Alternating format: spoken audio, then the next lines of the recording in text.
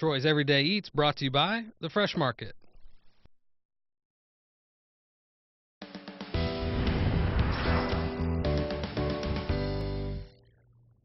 Welcome back, everybody. Hanging out here in the kitchen with Chef Troy. Troy, I have to admit, I was stuffing my face, and they actually called me in and said, Terrence, you're up, you're up. I was trying to get the um, the appetizer to the meal that you're cooking up here this morning. So looking forward to it, brother. What are we making? All right, well, we're doing kind of a, you know, everybody's had corned beef over the weekend if Right. you did any kind of St. Patrick's Day celebration, so I thought I would give a little cure for the hangover, the corned beef hangover. so we're doing a couple dishes, and 8 o'clock we're going to do some stuffed cabbage rolls with Okay. some chorizo grits and, the, you know, the corned beef. You know, in this segment we're doing, it's crispy corned beef with fried Brussels sprouts. So we've already fried the Brussels sprouts. I showed how to take the leaves off, so we deep fried those 30, 45 seconds till they're nice and crisp. Mm-hmm. All right, so for the corned beef at the break, what I did was took cold corned beef, and it has to be cold because Okay, I if was you, like, how do you crisp it if up? you cook, and what basically what corned beef is is it's beef brisket, and what makes it corned is like corn was the old word for salt, so it's salt cured. So when you boil it, you know it's already pretty much tender and it's brine, kind of a dry brine like we did our Right. chicken. So anyway, then you boil it, you know, and it becomes nice and tender, and we shredded it, and that's what we're going to put in our cabbage rolls. But for this, we cubed it, and I've got some down here that I've just dusted with some cornmeal or some corn starch rather. Okay. Just to give it a nice crispy crust, and it definitely. now, does cornstarch act like flour or any other kind of crispening agent? basically what it's going to do is it, it coats really well. I mean, it Okay. sticks to everything, but it's going to give just this nice thin crust on the outside. Basically, it's going to hold in some of the juices. All right. So while that's cooking, we're just going to cut a. Uh, here, we'll just use one of these. Now I made it. I thought you wanted me to cut that. I was like, you gonna trust me with the knife? No, not really. Especially after you came in here all rushed and stuff. I know your heart rate's up. and That's probably not a good thing. So we're. I'm in a little bit better shape than that. I just walked. well, well, then you're in better shape than me. All right, so I've already got some done. Now those are going to take maybe three, two or three minutes. okay. Oh wow. Okay. All right, so we've got some here, and they're all nice and crispy. Those are like big old bacon chunks or like fat back yeah, exactly. And they're, but you can see, see how tender they are. So what we're going to do here, and I know we got to roll out. We're going to put these on here like this, and then we're going to take some of these fried Brussels sprout leaves, scatter them across like that. I've got some. I got some kettle fried peanuts I'm gonna put on the top, some of these green onions, and then we made this chipotle crema. And I know we got a roll. Would you Um, use this as an appetizer or is this a main course for you? Is this an appetizer? I would consider this like bar food, something you could snack on, maybe Okay. have cold beer with or something like that. So perfect for St. Patrick's Day. I'm going to try this. All right. In fact, Me I'm going to take that whole dish. Right, I am hanging out with Chef Troy here, and I'm trying to figure out this next menu item he's going to cook up. This is a cabbage grit roll-up. Right. Well, it's a cabbage roll. You know, you've heard of that. You know, where you stuff cabbage with, you know, all kinds of different things. I have not, but now you schooled me. Okay, well, it's not anything I invented. Uh, You know, I'm Okay. just kind of tweaking it a little bit. And to make the cabbage rolls, I'll tell you what's in it, but we got to You get can these tell I'm going. a child of the 80s, right? I called it a roll-up. Roll-up. Cabbage grit roll-up. I like your yours better.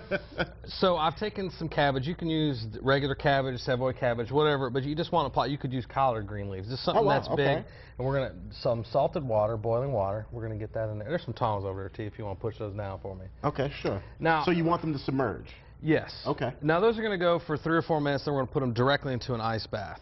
Oh wow. Okay. The other way you can do that is you can tear off. Depends on how big you want your rolls, because those those are going to be big because the leaves are big. If you want them smaller, what I like to do is tear off some of those outer leaves, shred them up like we've done here, mm-hmm. and we're going to use that as a base to kind of help steam.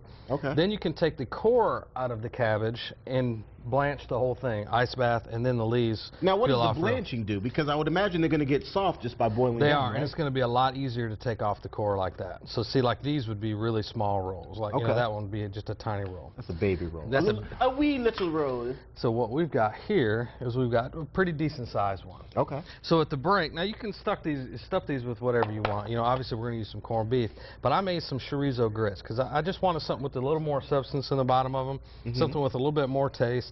Because if we're trying to cure the corned beef and cabbage hangover, you want more flavor than just corned beef and cabbage. Right. So we're going to put the chorizo grits in the bottom, like that. Now we made some whiskey onions in the first segment, and that's what we used with our in the sauce for our crema that we did with the fried corned beef. So we're going to put a few of those on there, and then we're going to put this, a little bit of corned beef. Now this is the corned beef that I, I shredded. You want to Uh-huh. do that when it's hot, so that way it kind of all falls apart, and then you've got nice little shreds in there. So then we're just going to take it, and you can see how it expands. We're going to fold the sides over. Okay, so you always fold the sides in first. That's what I do. Okay. And then you want to roll the root end to the end of the leaf. Okay. So then you've got that. So then what I would do is I would take just some kind of oven di- dish you can put in the oven. We're going to put some the cabbage in there, like that. Make a little nest because you don't want to waste all that cabbage. right. And then I got some hard cider here. Well, part of a hard cider, sorry. And then we're going to put that in there, and then we'll just kind of make some more rolls. We'll line them up in there. We'll bake them in the oven 400 degrees until they're nice and tender. All I'll right. show you what they look like when we come back. Good stuff, folks. We're going to go to break momentarily. That is going to give me a chance to eat some of this or at least taste some. We'll be back right after this. Stick around. Everyday Eats St. Patrick's Day edition. Okay, we've been getting you ready all morning long here. Oh, hi. Hi. I was washing my hands because this is the time we eat. we do have a sink right over there next time. Okay, uh, let's get the finishing touches on this roll. This is awesome. All right, so the cabbage rolls, I'm just taking some, I made some grits just like normal with a little bit of chorizo in there. We're going to put this in spice there. in there. We made some whiskey onions. We're going to put a few of those in there like that. then and so that was just the onions and then the uh, brown sugar, sugar. little whiskey. little whiskey. And then Oh, this put is the good stuff. corned beef. Oh, and yes, the we fold it corned over. beef. This is the leaf that Terrence did, so I'm not sure how it's going to turn out. We'll blame him. Yeah, He's well, that's not what- here to defend that- himself. that's exactly right. so then you got your roll. Okay. So then you put it into a casserole dish. You bake it in the oven, covered for a little bit, just until they're cooked all the way through and nice. What's a little soft. bit? Like maybe five minutes? Ten Uh, minutes? recipe, I've got you know 15 to 20, Okay. just so they cook all the way through. So then we'll, we'll cut one in half just so you can kind of see what's on the inside.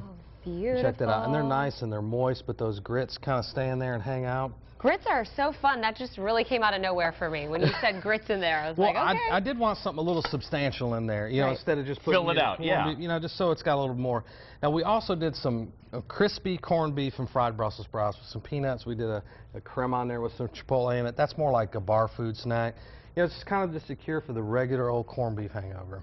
you need it. I do it. have to say too, Yeah, tell us about the bread here. I got some I, real Irish soda bread. Soda bread. From, Pat, I hope I don't mess this up, Pat and Siobhan Jackson. Siobhan is really Irish, and she dropped that off at the studio yesterday, so we're going to That's so open that up. I'm going to share a little bit of it, but I'm going to take Let the us Some of rest that's of it taste. home. going home. Well, your wife, So- of course, was just there, so she kind of was your inspiration. Exactly. She got me the, The hat, hat. you know, and I won't tell you everything else she brought because she got mad last week when I said she, you know, brought some It was stuff all in. legal, don't worry. Well, I'm excited to try this soda bread, though. I've never tasted that before. So I might something share some with different. Might. I might. Now, I don't have so the recipe for that, but I'm sure I can get it. But these recipes, WCCB Shark, clicking on the right.